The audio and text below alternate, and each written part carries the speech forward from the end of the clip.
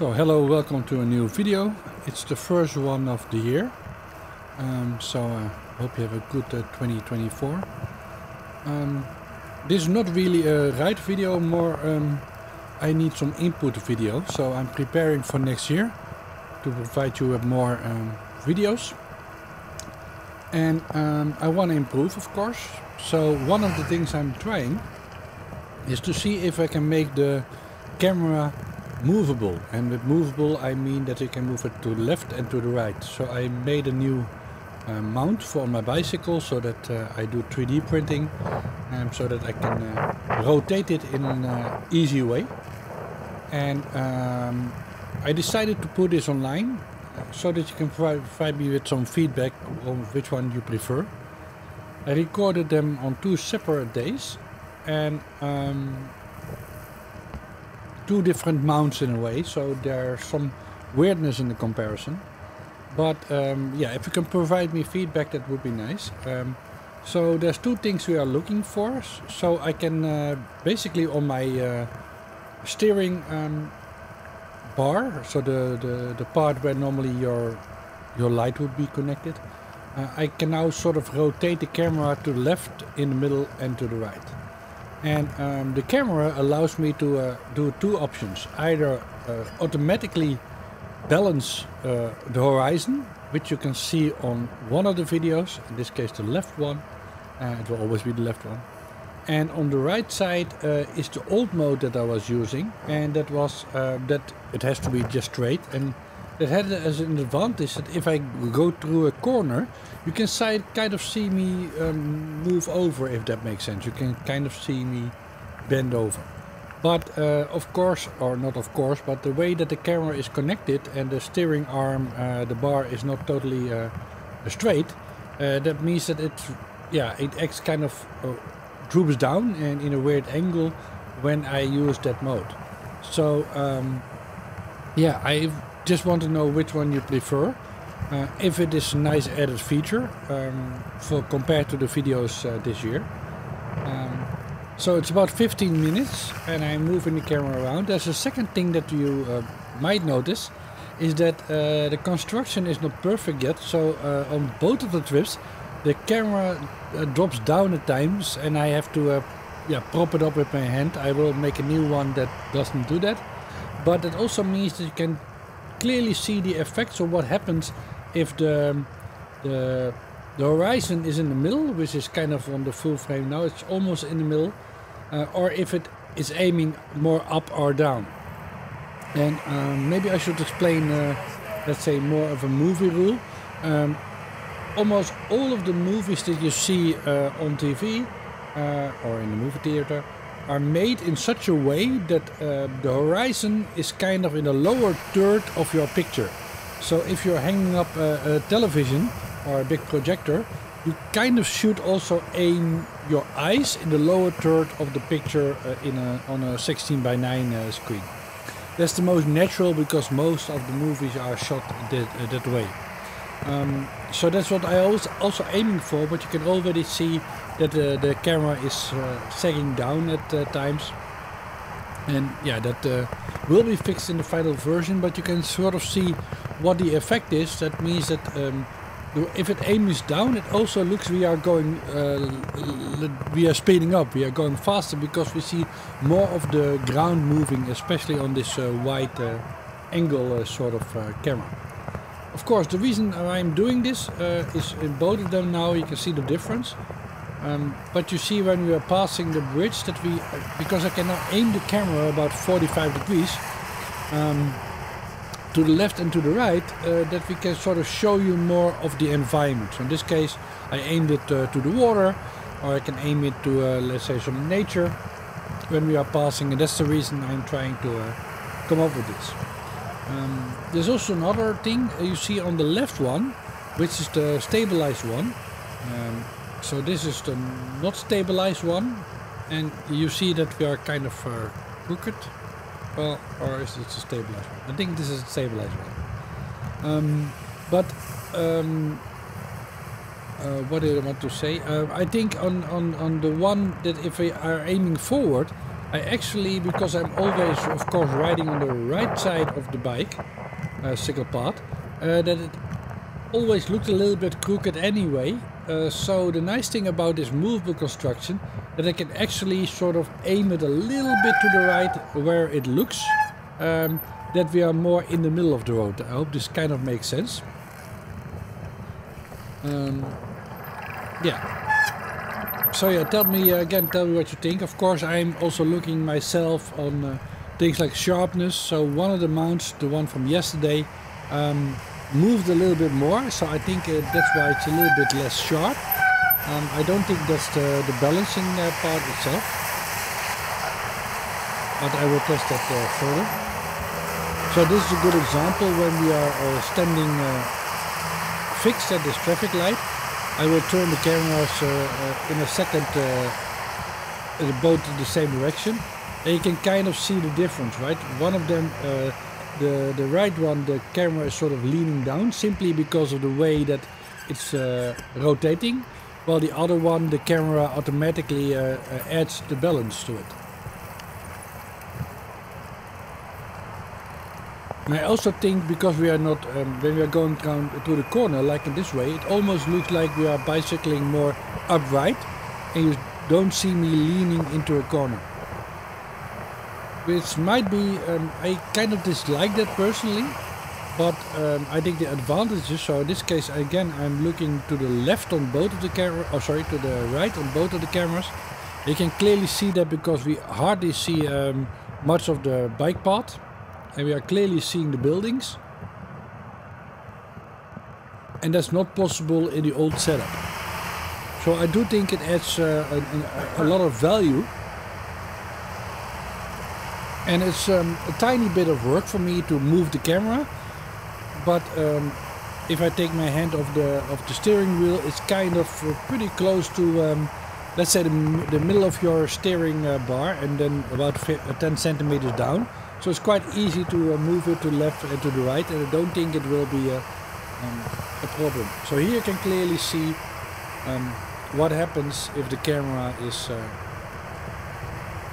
is aiming to one side. So on the right, sorry, the left, we can now see what happens if I kind of aim the camera 10 deg degrees to the, uh, the right. Now I'll do it fully. Uh, because it looks more in the middle weirdly enough. Uh, you see in the left and the right sometimes my uh, brake uh, pedals coming in. Um, which of course I will figure out how far I can turn it without getting them into the picture. But here you can clearly see the difference, both that what happens if the horizon is sort of wrong, because clearly on the right side uh, the camera is uh, dropping down and I will probably uh, move it up in a few seconds by pushing it by my hand. Uh, I will probably make it in a fixed way so that it can't move anymore uh, for that uh, up and down.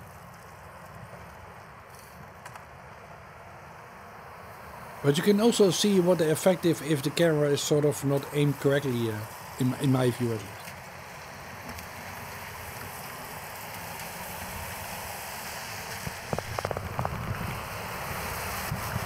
Course I had to uh, cut some of the video parts simply to uh, line them up again. Again, one I did yesterday when it was uh, a little bit colder, but today it was a little bit wetter. So the stabilized I did yesterday and um, the, let's say the, the not stabilized, so the right one. With stabilized I mean the horizon stabilized. Uh, is the I did today. It's clearly more raining both days it's now about um, it just stopped uh, freezing so it was uh, quite wintry in the last uh, week or so. So the last few days I could bike again. Uh, but it's still a few degrees above freezing. You can clearly see the difference and again if the road is kind of starting in the middle um, then of course we are looking quite far further than you think I would uh, suggest to your left in this case. And only when I move the camera, we can kind of see how far um, of a difference in picture it actually gives.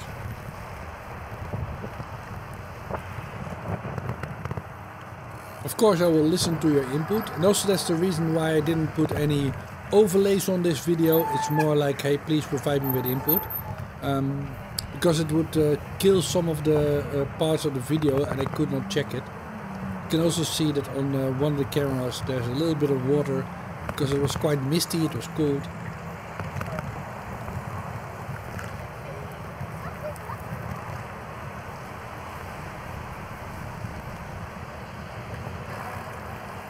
So I only did about uh, 200 kilometers uh, this month so far, I think. Course, January is not uh, the most uh, biking uh, month. The good news that last uh, last year I did 10,000 kilometers. I made that deadline. I was aiming for 10,000 kilometers in 2023 on a bicycle, and I made it. Given that I was away for about three months on holidays, um, I took a whole year off, so was quite a few holidays. Um, I was quite happy with it. Here we can see a good example. We have seen this, uh, if you're watching my videos before, we have seen this quite a lot, uh, this part. But now that I can aim the camera on both of them, I'll aim it to the windmill. One day it was uh, uh, uh moving, yesterday, uh, today it's not moving. But I will now move them over both. Although the horizon is, is wrong on one of them or both. but you can see that you see a lot more of, uh, of our uh, surroundings now that I can move the camera. Because now you can see if it goes straight, what actually the difference is. So I think it's a useful addition for the videos. Funny I needed to pass uh, people at the same location kind of. And in both cases the camera drooped down, so I had to um, fix it again.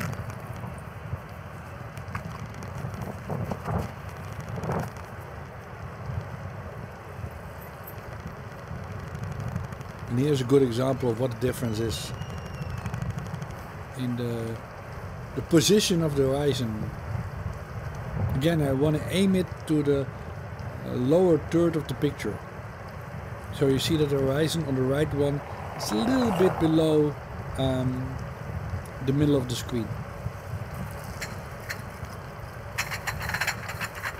And that's what I, I almost hit him. of course, which is kind of interesting and people don't really watch, they just go. Which is something you have to get used to. I wouldn't say didn't don't watch, but they kind of assume that um, not everybody, but some people kind of assume that you will take care of the situation. Which you most of the time will. But again, you can see if we are passing this bridge, I think on both of the days I moved the camera to the left. Uh, sorry, to the right. But you can see on one of them I didn't, so you can see the difference in point of view, right? You can see much more of the water. And I think that's, uh, yeah, it adds a little bit to the video.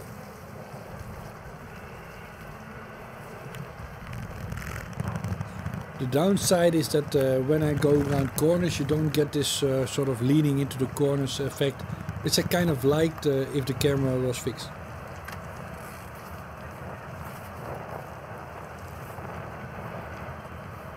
And of course also the stabilization probably um, means that uh, the picture is a little bit less sharp. I'm not sure how much, I need to uh, do a better comparison. But the camera has to do more work to uh, get it to work. Although the mount yesterday, so the one that was uh, stabilized, was not as stable if that makes sense. It was bopping around quite a lot.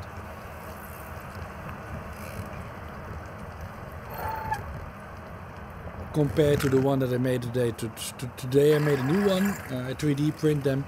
And uh, this one is much more sturdy, so the camera doesn't uh, move as much. And that means that the stabilization is easier for the camera.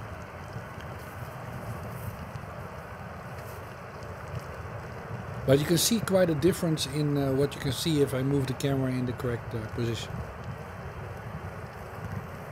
Which in the city is already nice, but I suspect when we are going out into nature, um,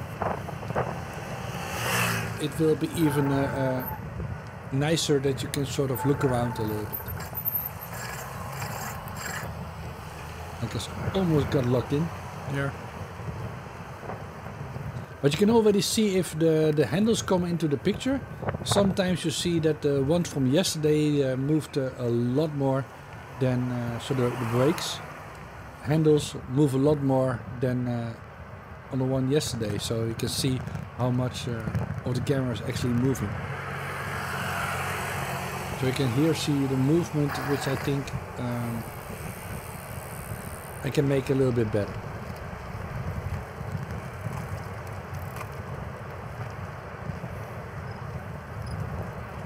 So of course, if this is your first video here, please watch uh, the uh, the other ones. Uh, of course, uh, provide feedback what you think about uh, uh, how these two compare. But this is not a, a, normal video. Normally, I would talk about what we are seeing, what we are doing, and not about the technology. So again, you see quite a difference in the way if the camera is sagging down or not. it's red so my brakes are uh, beeping again. So yesterday it was quite busy, even if it was cold and rainy, you see a lot of people uh, around.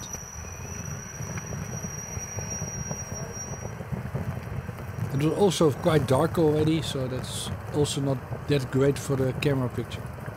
And here we are going on to the bicycle bridge, the famous uh, Dafne Schippers uh, bicycle bridge. So uh, the bike path goes over the roof of a school. And of course now I can aim the camera to the inside so you can actually see more of the school when I'm biking in the circle. And of course on the, the right one where the camera is sort of um, tilting, you can see the difference between what would happen. It almost looks like I'm bicycling on a racing bike. And if I do it in the reverse, now to the outside, I do it on both you can see basically the the distortion uh, being compensated.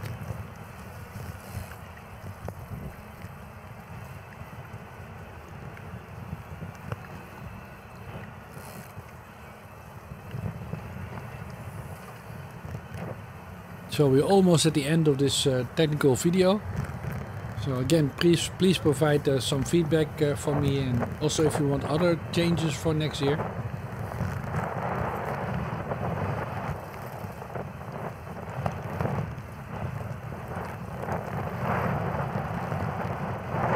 Oh, the audio, I did it from the internal uh, microphone of the camera, which is not what I normally do.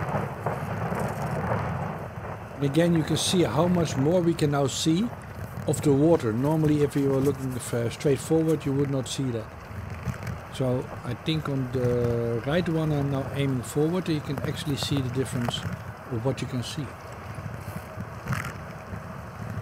I guess, unless I move my hand in front of it to uh, fix the camera. But tomorrow's uh, 3D version will be a printed version will be better again. I hope. So the, the camera doesn't drop down. So thank you for watching and uh, please provide feedback uh, what you think about the difference between the two videos. Bye bye.